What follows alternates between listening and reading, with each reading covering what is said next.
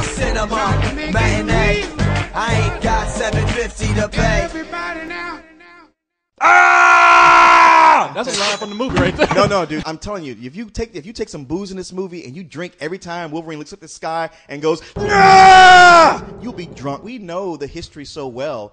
It'd be interesting to hear it from a layman's point of view. What did you think? Okay, for what I got from this now, Wolverine, when he comes into the first X Men movie, he doesn't really know too much about his history. So this goes through and explains how old he is for one thing, Right. How he got his adamantium skeleton, why for one thing he is screaming ah through the whole movie because we learn that he's actually lost a lot and has learned not to trust people. And this is where we learn about the Weapons X program, which in turn sets Wolverine on the path of coming to grips with who he is.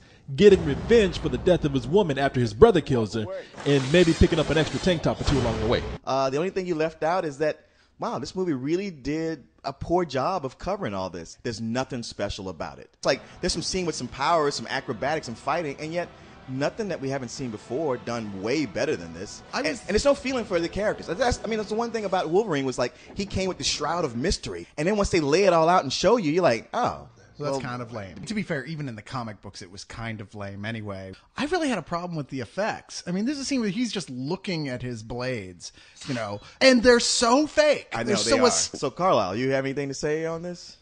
the man is in pain. Okay, don't push him. It's just a piece of Every turn is a terrible, terrible cliche. They don't do anything cool here. And every time they try to do something cool, what they do is they go, we're going to take a character from the comics and insert him randomly into the film and try to make him work. Remember that guy who was a big badass in that team? Well, now he's the blob. Did you just call me Blob?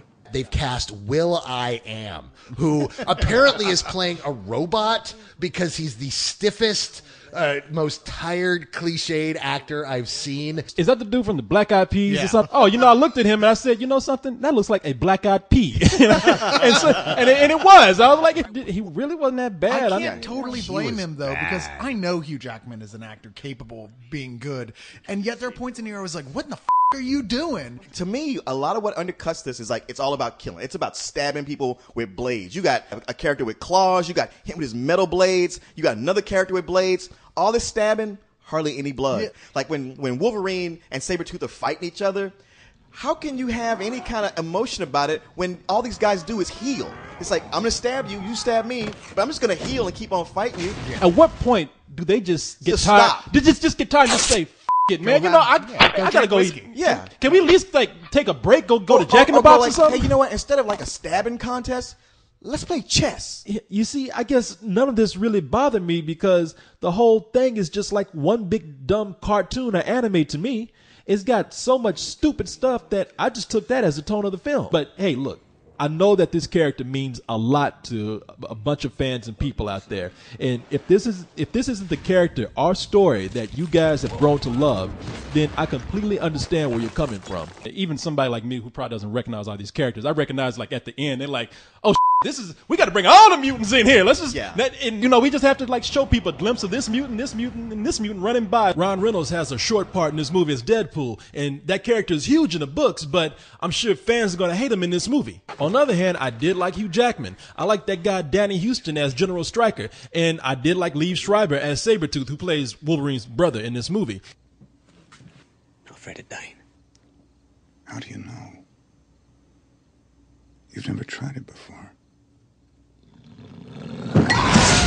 Think they really gave bad performances per se. I just think they were given bad dialogue. I thought some parts of the movie were terrible. I thought some parts of the movie were fun. So I'm gonna give it a matinee. Not judging as a comic, just as an action movie, it's really dull and generic, and there's nothing to recommend about it. I can't think of a single thing I liked about this movie. You're And turning red right now. This is a some old bull.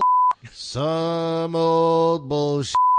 This is just this is just crap, dude. There's nothing here. Look, I don't expect this movie to be good. Oh, look, this movie actually wasn't good. There's not a single thing I liked. Where's the point where Wolverine becomes scary to the audience? Because Right. Never he happens. should be scary to the He audience. should be, and he never is. No, and you're right because there were certain parts of the movie where they even had Wolverine doing little physical comedy bits and his claws came out. I said, well, at this point, why don't y'all just go ahead and do a Wolverine claws blooper reel?